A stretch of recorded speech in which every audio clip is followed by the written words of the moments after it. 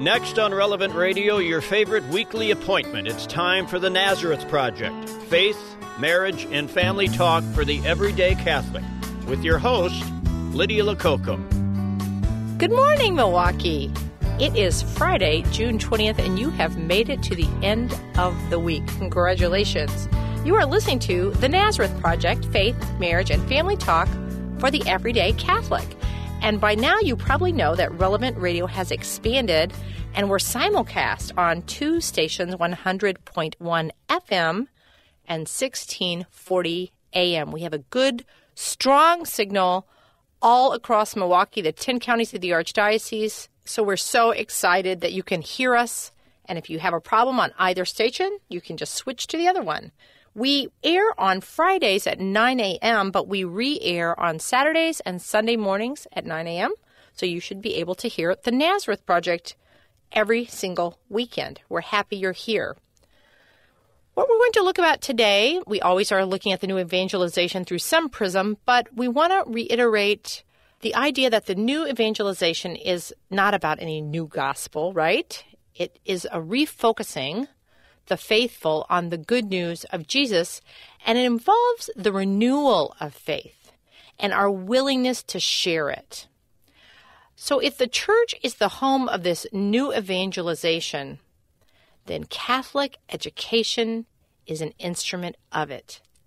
It is the church which brings to our world an invitation to faith and an encounter with Jesus Christ.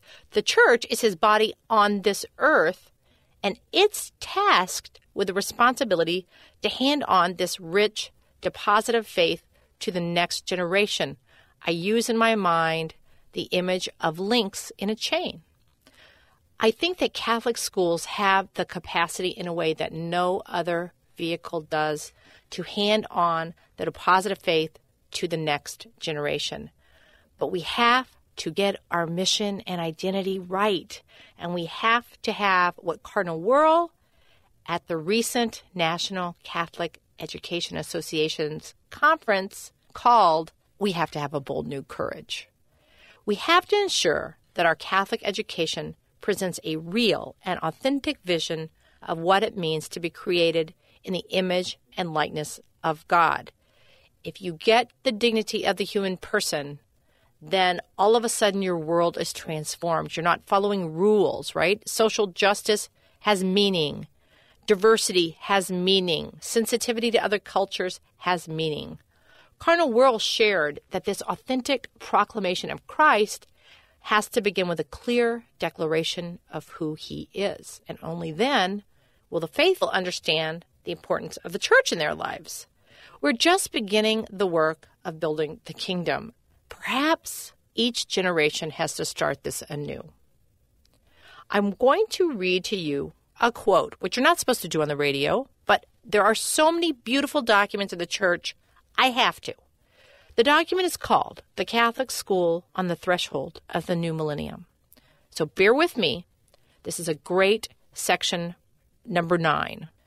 Young people of the third millennium must be a source of energy and leadership in our church and nation. Therefore, we must provide young people with an academically rigorous and doctrinally sound program of education and faith formation designed to strengthen their union with Christ and His church. Catholic schools collaborate with parents and guardians in raising and forming their children as families struggle with the changing and challenging cultural and moral context in which they find themselves. Catholic schools provide young people with sound church teaching through a broad-based curriculum where faith and culture are intertwined in all area of a school's life.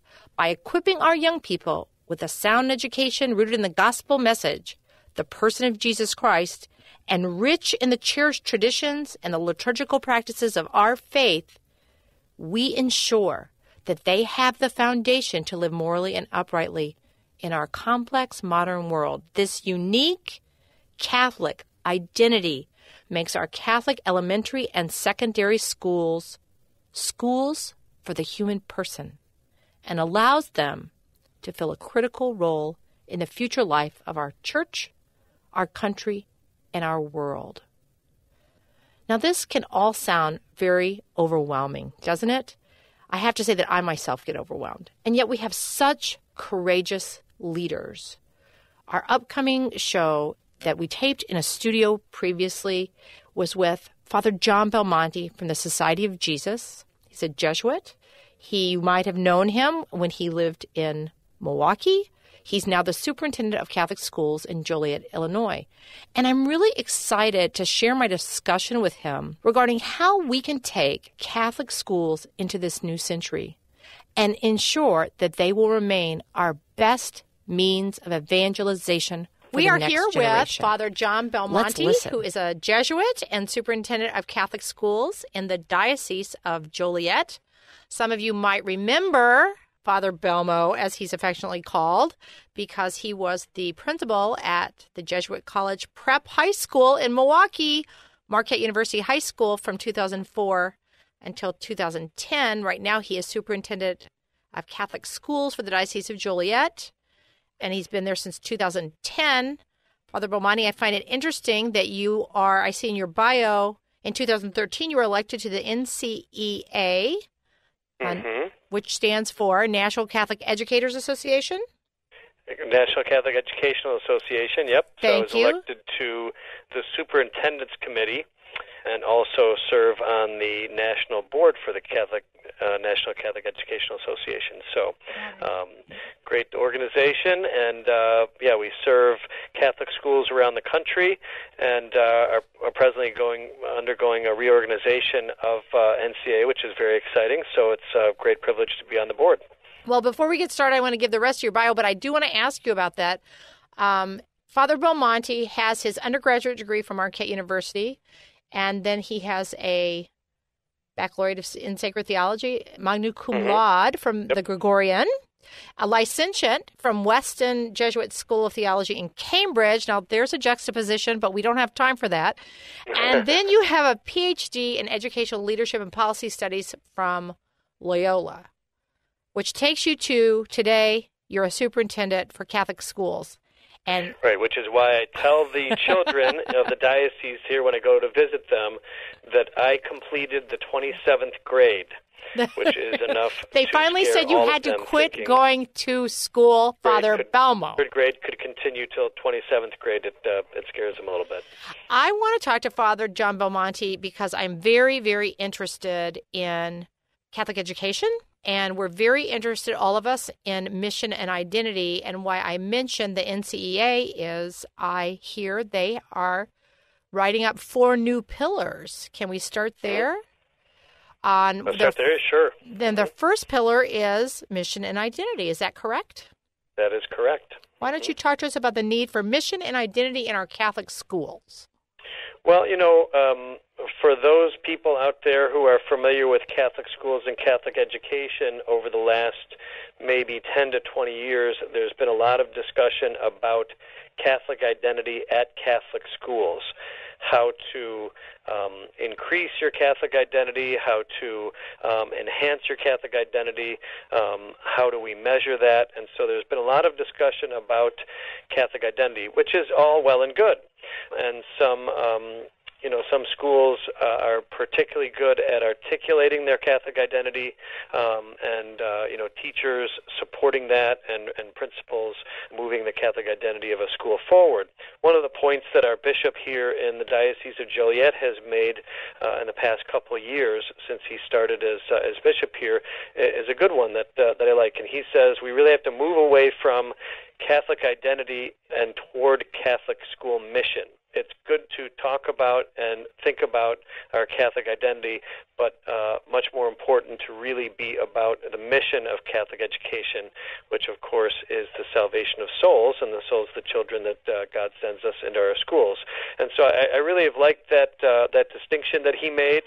Uh, I think it's I think it's accurate. You know, talking about Catholic identity and understanding it is important, but we really have to get to our common mission um, as Catholic school educators, and you know, really embrace that and, and move it forward. So, um, so that's what I think. Um, you know, organizations like the uh, National Catholic Educational Association do. Certainly, our diocesan offices uh, work very hard in those things, and the more we can be uh, clear that we're really focused on our Catholic school mission, uh, I think the better it's going to be not only for our schools but especially for our children. So, well, I didn't mean to interrupt. Is there a way that we could be focused on Catholic identity and not fulfill our mission? Yeah, I would say yes. You know, if it becomes a, a bit of sort of, um, you know, navel gazing, where you just sort of uh, talking about and thinking about Catholic identity all the time and, and really losing sight of the mission, yeah, I think it can be, you know, kind of a blind alley that you can end up in. And so that's why, you know, the, the whole business of mission and Catholic school mission um, really leads us back to the school, leads us back to the students and, and what we're supposed to be about uh, as educators. Could I ask you, um, and this is a short interview, obviously, but what can parents look for just with a cursory glance at uh, your basic Catholic grade school? Are there some earmarks that somebody could say, wow, they are focused on the mission of the children, you know, of our faith, of, of uh, growing these people and looking kind of at the whole child, you know, not just, um, mm-hmm. you know, that, that broad kind of education? What would be the earmarks? Yeah, well, when any, uh, I mean, in some ways, walking into any Catholic school, the culture of the school should be obvious to anyone who walks in that it is a Catholic school, not just in name only, and uh, and so that becomes part of the culture. And I like to compare it to sort of immersion schools uh, that you can run into with uh, with languages, French immersion school or Spanish immersion school. When you walk in, you hear the language of Spanish or French being spoken, and it's very obvious that it's immersion school. And I think the same thing should be true for our Catholic schools. That when we walk into them, uh, it's very clear to anyone who's uh, who's walking up and down the hallways and sitting in the classrooms that it's a Catholic school. So, um, you know, certainly um, the beautiful statues and uh, artwork, uh, which is part of our Catholic tradition, should be on display, and then um, the kinds of classroom discussions, the sorts of lessons, the kinds of prayers, mass, all of those things should be very evident to anyone who walks into the school. And so, you know, if you walk into a Catholic school and you can't tell the difference between it and uh, the public school down the street, then um, you should be looking for a different Catholic school. right. Wow. And what do you do as superintendent? I mean, and not to be specific to necessarily your diocese, but where do we, I would say, where do you personally, but where do we all start? I mean, so you're going to focus on mission. You sit down at your desk. Welcome to the rest of your life, Father John Belmonte. How do you start such a large? I mean, we're really asking how do we renew culture, and then how do yes. we follow our own mission? And I don't. I mean, mm-hmm. I know it's a large question, but are there some? You know, do you have a five-year kind of strategic plan for yourself and for your diocese? Yes, when I started, I inherited the uh, strategic plan that uh, now Archbishop Sartain of Seattle started, and so I've been working on that for the past five years. And you know, clearly, Catholic identity and Catholic school mission is uh, is central to all of that, and so it really should imbue everything that uh, that you do in the schools. And so, um, you know, we work very hard at developing Catholic culture. One of the things that I've done in the past four years here in the diocese is uh, initiate a devotional project across the diocese so every Catholic school um, has had children uh, learning about and teaching about the Sacred Heart devotion. Last year we did devotion to the Blessed Mother, and then this year we've done devotions to the saints. And so, you know, really, uh, this is something that uh, Cardinal Dolan said at a uh, at a mass at uh, Marquette High School when I was principal that I've never forgotten. He said the most important room in any school is not the science lab, it's not the gym, it's not the principal's office. The most important room in any school is the chapel or the church. That's where the most important lessons happen. Uh, that's where Christ is uh, is met in the sacraments, especially in in the Blessed Sacrament, and that is the most important place in in a school, bar none. And so I think that's where we have to start. We have to start with uh, with prayer. We have to start with our devotional life to uh, the Blessed Mother, to Jesus Himself, and uh, and then work out from there. And so we really emphasize those sorts of things in the diocese, where you know we We have Mass uh, at least once a week uh, in every school in the diocese. We developed a devotional project uh, each year with our students, and then we've been focusing on our religion curriculum the last year as well. So all those things I think help to keep the focus on Catholic identity and mission. Now, when you were talking about that's amazing, and I'm gasping for air, but when you were talking about Catholic mission and you were mm-hmm. talking about walking through the school, it occurred to me, and I and I say this in all charity, that some young families must be very frankly overwhelmed because they might not have received the kind of formation to duplicate that same kind of culture in their own home. And they certainly need a lot of support. They certainly need a lot of help. I mean, it's just tough being a parent out there, much less a young young Catholic parent. And you have done something particularly interesting that we want to talk about, and it's called We Parent More, and it's an app. Am I correct? It's an app. That's right. That's a mobile app. Yep. Now, I know nothing about it, and neither does our audience. So tell us about We Parent More. Uh, I was noticing with some colleagues of mine here in the diocese that we really need to build a bridge for young parents into our parishes and into our schools. Uh, that often what happens is young people will come to uh, the church, they'll have their children baptized, and then often they kind of disappear. And sometimes they reappear to enroll in school, and sometimes they don't reappear at all. Uh, sometimes they might uh, send their children to uh, religious education programs in the parish, and sometimes not.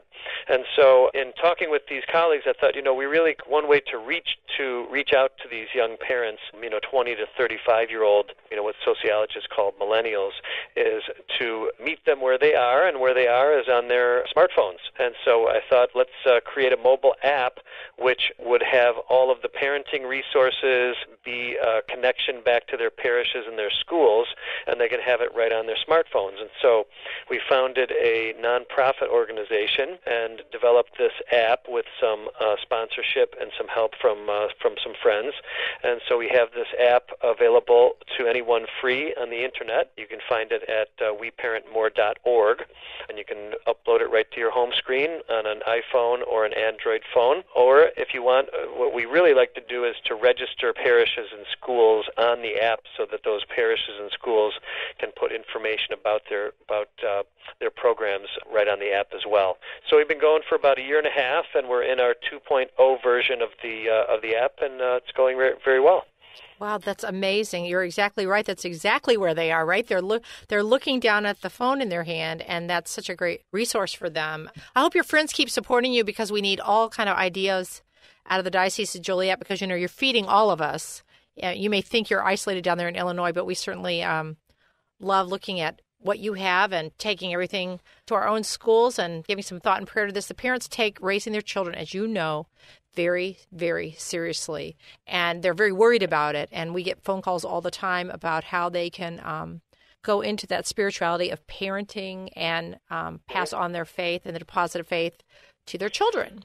Um, well, as I, you know, being a parent is uh, the toughest and best job that anyone can have, and so uh, it's our role as uh, as a church, it's our role as a diocese, as a Catholic schools office, to help parents to be, you know, the best possible parents they can be, and to raise their children in the faith. So um, anything we can do to uh, to move that along is uh, is going to be good for everyone, and especially for uh, for the church. So absolutely, I want to tell our listeners, and we put these resources on our website.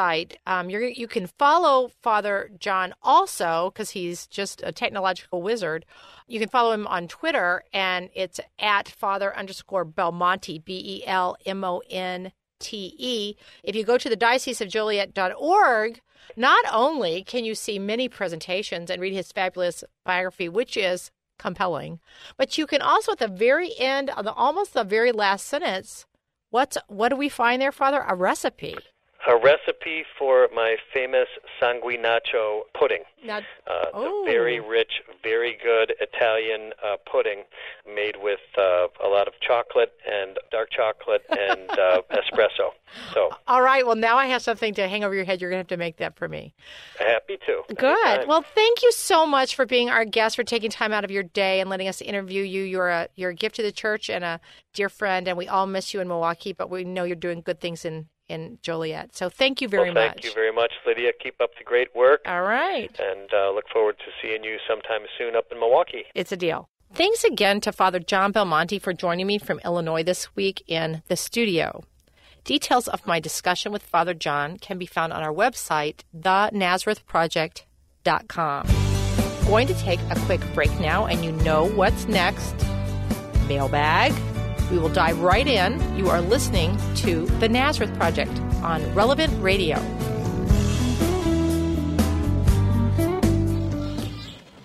So, what do you think? Did we make the right call or what? This backyard is incredible. We have our very own outdoor living space. The shrubs, plants, stone walkway, and I really love the water feature. So refreshing on these warm summer days. Honey, why did we wait so long to get this beautiful backyard? I'm so glad we brought in American Landscape. They can do it all, and they made it so effortless. If you can picture it, American Landscape can make it happen.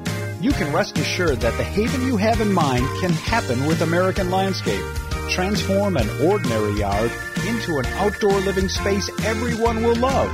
Since 1973, American Landscape has been serving residential and commercial property owners with certified professionals. Go to relevantradio.com, keyword landscape. Relevantradio.com, keyword landscape. A proud supporter of Relevant Radio. We're back with the Nazareth Project on Relevant Radio. Here's your host, Lydia Lococo. Welcome. This is my favorite part of the show. In case you've never listened before, this is the mailbag when people call in or write in with various questions, things they want to ask.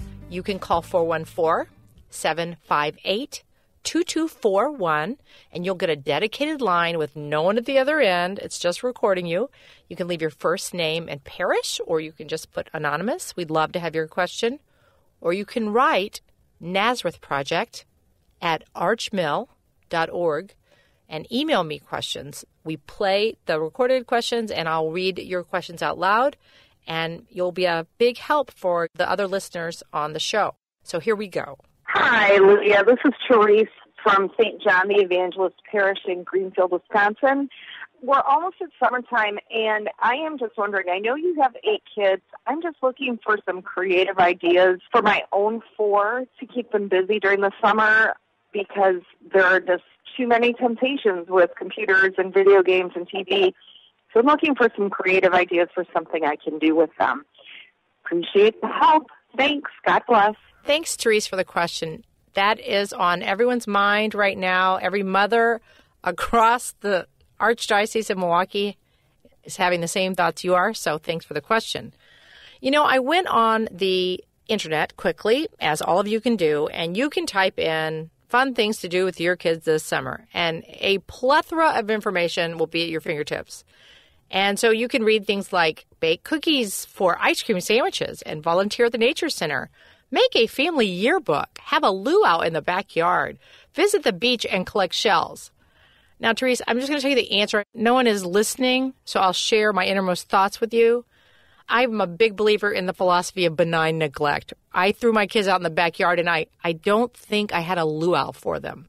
However, I kid about it, but I think we are all thinking about a deeper question, which you alluded to, which is I want to be deliberate about my summer. I take mothering seriously. I don't want to entertain my kids. I don't want to be the camp clown. But on the other hand, I really am afraid about that screen time. It's just so tempting on a long day with a lot of kids. And I want to be intentional about my mothering. And that's what should be applauded. Good for you, good for all of us for taking our vocation seriously.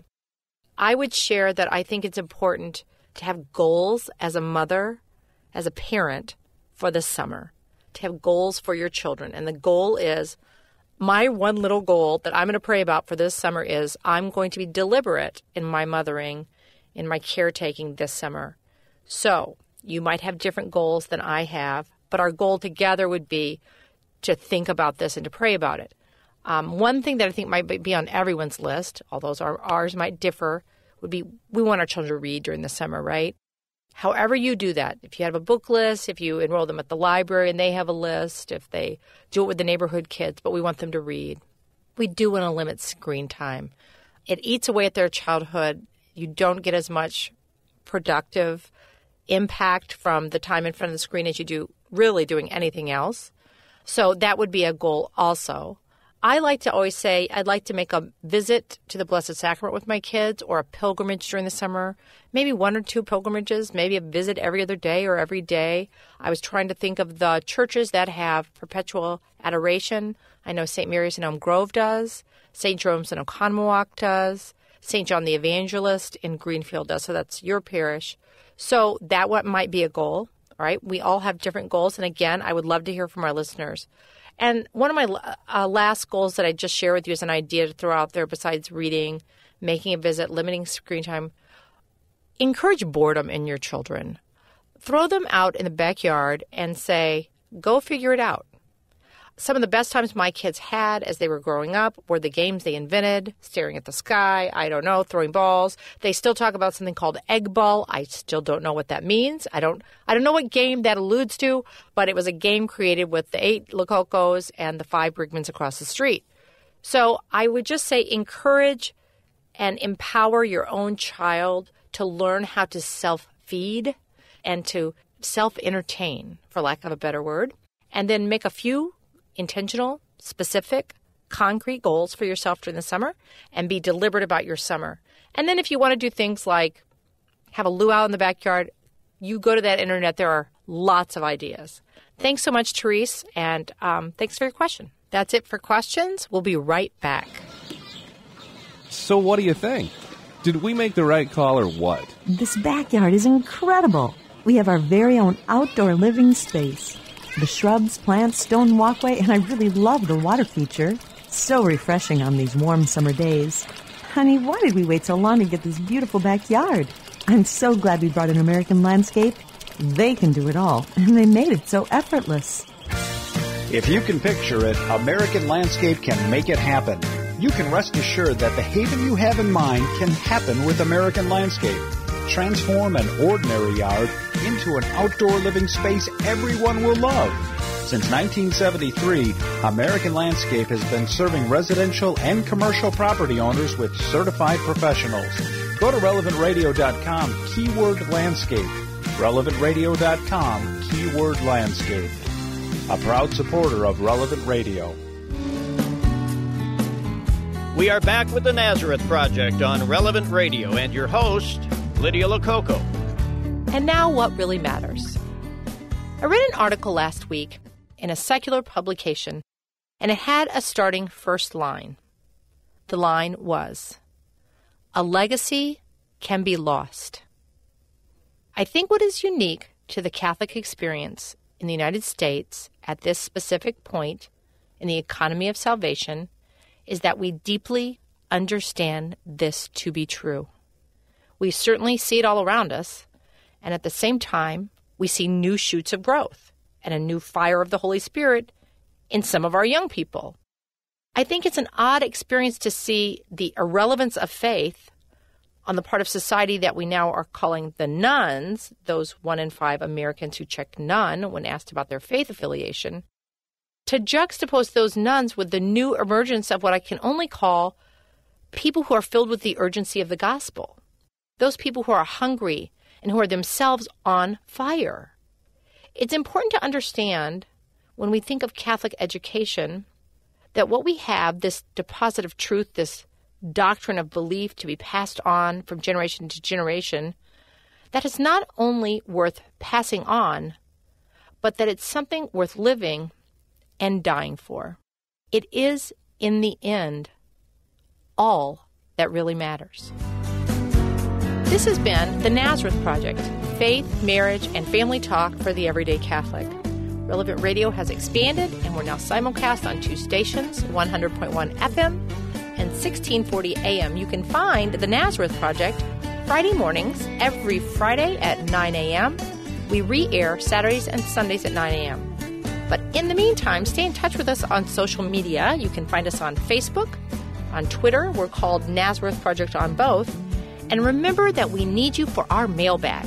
Anything goes. Send us your questions about faith, marriage, family, relationships, work by calling our dedicated voicemail 414 758 2241 or just email me at nazarethproject at archmil.org. Today's show and our past shows are available online at thenazarethproject.com, and you'll find there lots of other resources and information. Coming up next week, I'm so excited to share with you Barbara Lyons, Executive Director of Wisconsin Right to Life. Thank you for chatting this morning. I'm Lydia Lococo, and we'll see you next Friday for The Nazareth Project on Relevant Radio. God bless your day. You've been listening to the Nazareth Project on Relevant Radio.